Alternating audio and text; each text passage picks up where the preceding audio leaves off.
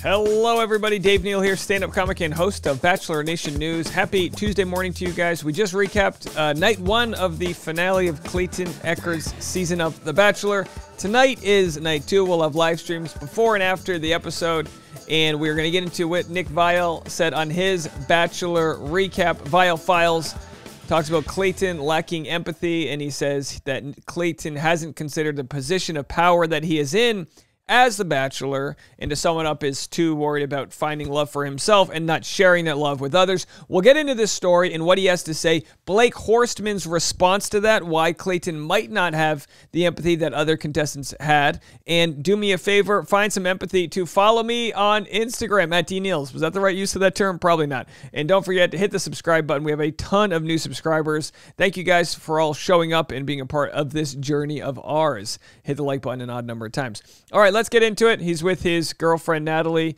and guest Christina Harris, and they're uh, we're going to play two different clips of um, you know because the main concerns are like why did Clayton feel the need to sleep with the other women, and could he have achieved um, the uh, learning who he wanted to be with without having sex with them.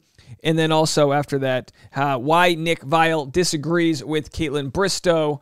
Um, and, and uh, we'll get into all that. Here, just have a watch that. I'm not. Like... I'm not critic. It's just.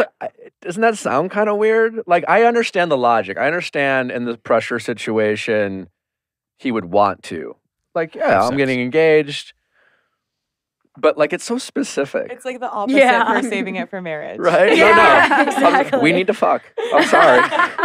it's like I don't know. Like, can't you? I mean, let's be honest. We you can you can get a pretty good sense of your physical connection with someone uh, and get a pretty good read on your attraction to them and make out and and round a lot of bases and i think you could have a pretty good idea without actually performing the act of sex are, are we now no no we believe that and that's all true. What's interesting with Nick, and we appreciate his opinions here because he's been there as a contestant and as a lead. So we appreciate his opinions because there's a little bit of um of a uh, of a uh, equity built there because of his experience. Now, we also know when he was on Kaitlyn Bristowe's season, he kind of came in a few episodes into the season and had sex with Kaitlyn. Now, she received a lot of hate for that because it was before the fantasy suites. And there she is, just a sex positive Canadian, being like, Really? I didn't think this was going to be a problem at all. Well, uh, we had some angry Americans there, and they had no right to be angry whatsoever. And any sort of uh, dating around it should have been perfectly fine. But if Nick was to take his own um, sort of. Um, advice here, he'd say, yeah, shouldn't he been able to? Sure. But at the same time, you also had sex, so clearly testing the waters or whatever you want to call it has value. We in agreement or but we not disagree? on the show. No, no, no. I'm just saying it in life. Okay, yeah, yeah in life, yeah. Like you guys, you guys, everyone gets naked. like you finger look, banging on uh, the show. Yeah. no, but in the fantasy suite, they could go behind closed doors and right. do do some things. My girlfriend has said finger banging on my podcast. Automatic promo for the episode. Right. Finger banging with Natalie Joy. Wake up Tuesday.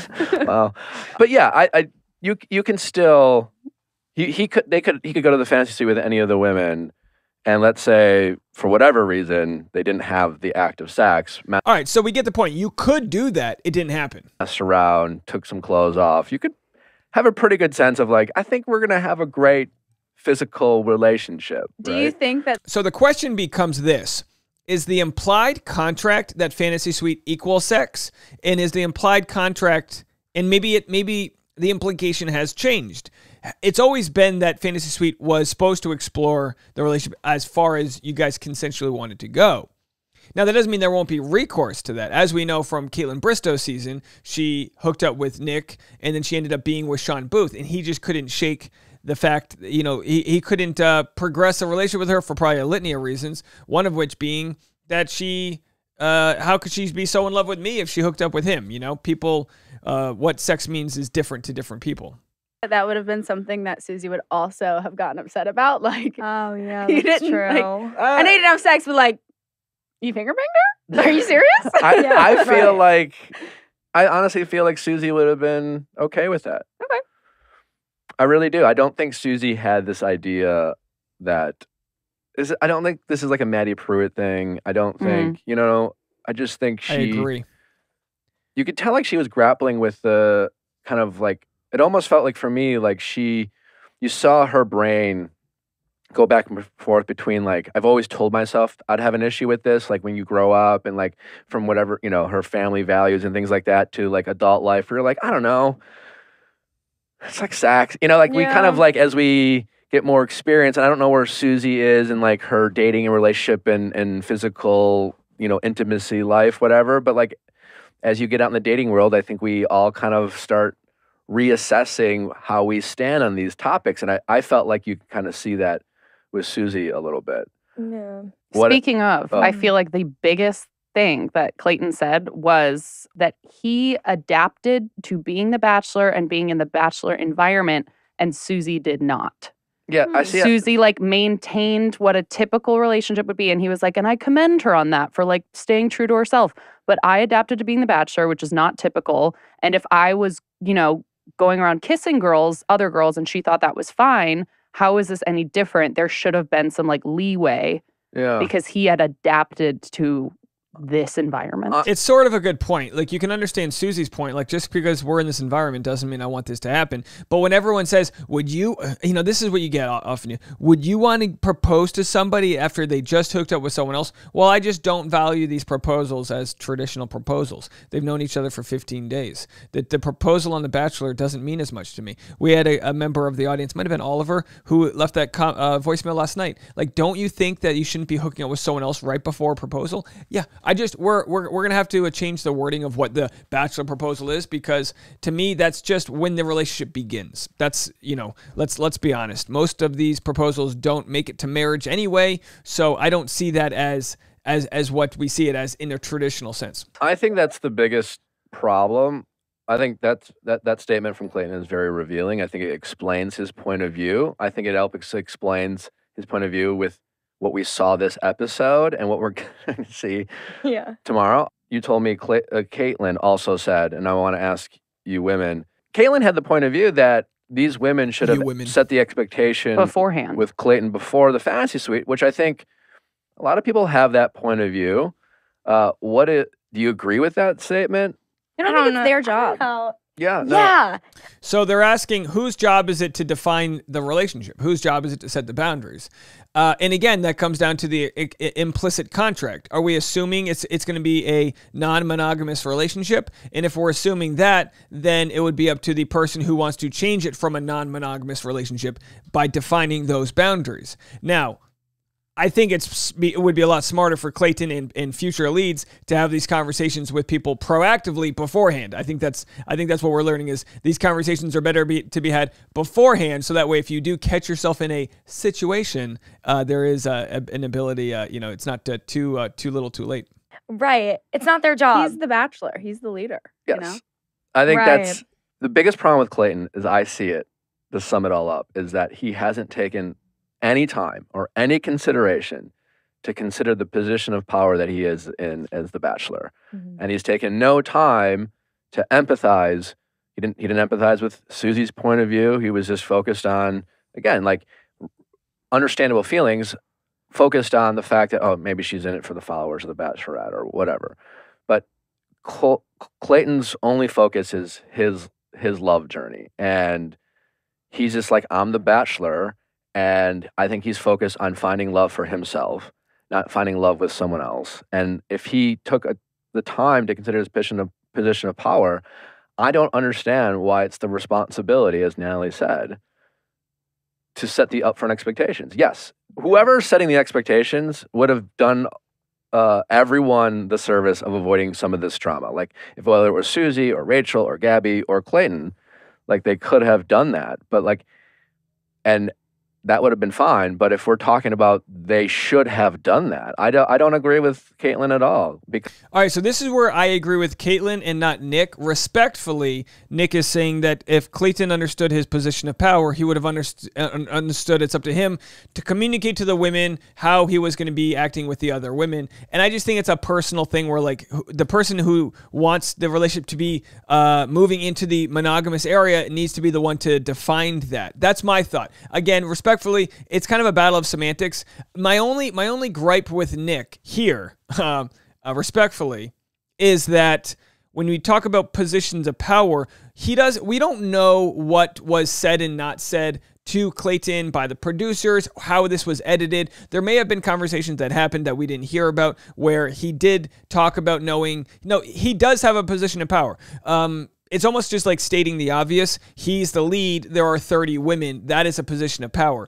It just like privilege, there are different types of positions of power. They might come from having a clout. Nick Viall has a lot of has a big position of power within his company because he's the boss man. He also has it in his relationship as the um, probably more reputable, higher earning person and also as a male you know what i mean? So like we understand these things that that it doesn't mean he's a better person. It means his position of power in society comes from where he uh, stands with the privileges that he has that gives him more equity to make decisions. Now not to say we don't want his girlfriend or any other uh, person in a relationship to to rise up and have their own position of power.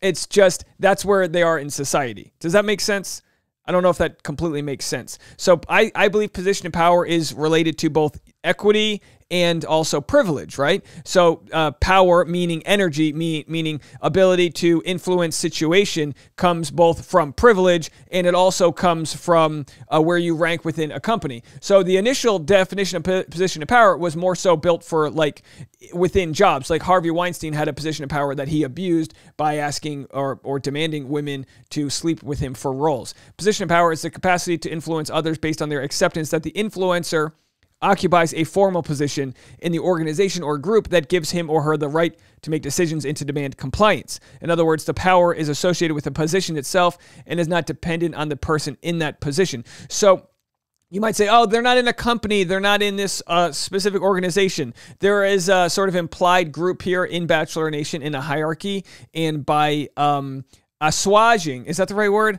The person in power, the the it, it gives you better rank. So you wouldn't want to bite the hand that feeds because there's a bias there towards the person who's in power. Very complicated. I probably just messed it up in 17 different ways, but I'd I'd like to hear what you have to say in the comment section with regards to that. So of course Nick and Nick would know that he's in a position of power. It's just different. We're obviously talking about Clayton here, but to use Nick as an example or myself within my community as example, there's equity and there's privilege for having influence over others and by not acknowledging that Nick is saying that Clayton is doing it disservice. And my thought is that it's a non monogamous dating competition until it's not. And the person who wants to take that to the monogamous level, uh, in Susie's case, by telling Clayton to kind of set boundaries around, I don't want to be with someone who just had sex with others. I believe it's the person who wants to go monogamous that takes that lead. Whereas Clayton, his job, at least in his mind, has been to pursue all relationships until one works but also, I do understand Nick's point. That's like, all right, geez, like, yeah, pursue all the relationships as you see fit, but also understand that you're thinking about you and not about everyone else. But it is called The Bachelor, not a bunch of people date a guy. It's called The Bachelor. So, right, that's what it is. Blake Horstmann says Clayton doesn't seem to have enough empathy in these moments because he wasn't in love with Michelle and didn't get his heart broken on national television. The leads have a better shot at finding love if they are from the top three and have fallen in love in this environment. Blake also has been the um, center of a lot of public shaming that happened on Bachelor in Paradise between him and Caelynn.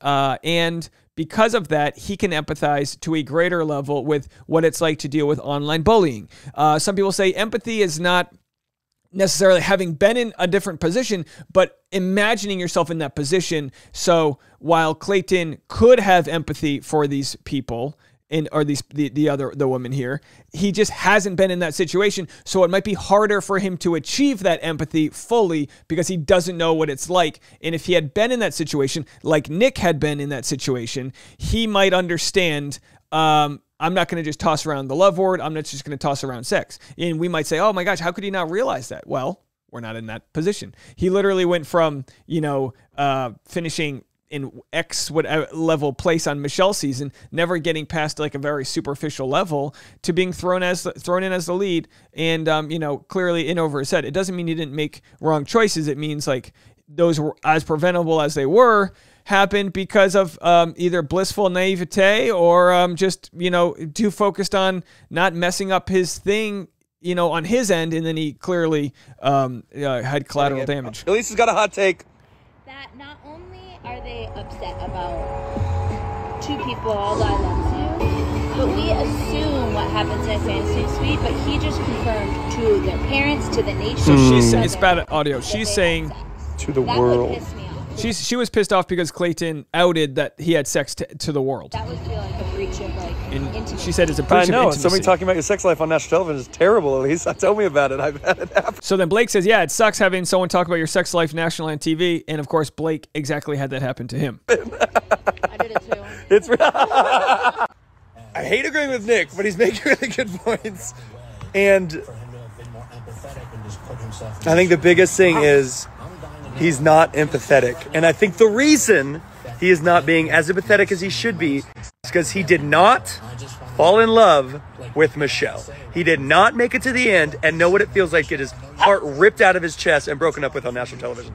This is why I think they should always pick the lead from the final three, at least. So they go through fantasy suites, they go through all this because they don't get it. You don't get it unless you've lived through it. Very good points there from Blake, and of course, uh, it's not necessarily uh, it, it doesn't excuse what went down, but hey, like we've always said. You know, you try the best with the information you have. Clayton didn't understand uh, maybe the power that he had in these positions, didn't realize that they were going to fall for him hard. And while he knew he was going to end up with hopefully his number one, he was going to create a lot of damage in the way. And that's the show, and that's why there's so much drama. Let me know what you guys think. I'd love to hear your thoughts. We'll be right back. Bye, everyone.